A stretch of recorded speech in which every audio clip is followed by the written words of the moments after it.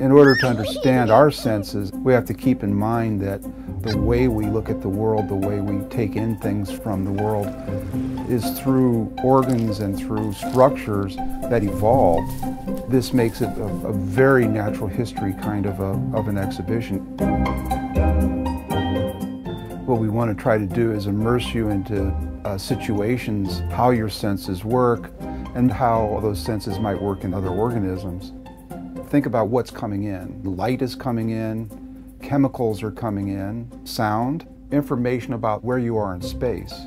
So all of this information is coming in and we have evolved these mechanisms, they're machines really, that collect this information. Our senses get integrated together to give us this overall picture of the world that's around us.